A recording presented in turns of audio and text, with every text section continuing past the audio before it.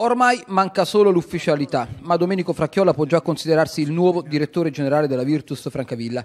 Il dirigente si è appena liberato dal Lecco, club del girone A di Serie C, col quale ha vissuto due anni da assoluto protagonista culminati con il quinto posto in classifica, frutto di una stagione contrassegnata da valorizzazione dei giovani e riscoperte di calciatori bisognosi di riscatto. Ed è stato proprio questo a convincere il presidente della Virtus Antonio Magria a richiamarlo dopo l'esperienza in bianco-azzurro di tre stagioni fa che portò comunque il Francavilla a realizzare diverse plusvalenze. Rispetto ad allora però Fracchiola è cresciuto e tanto sia sul piano caratteriale che professionale. La chiamata di Antonio Magria ha cancellato praticamente da subito le avanze del Monopoli che pure puntava con forza sul dirigente.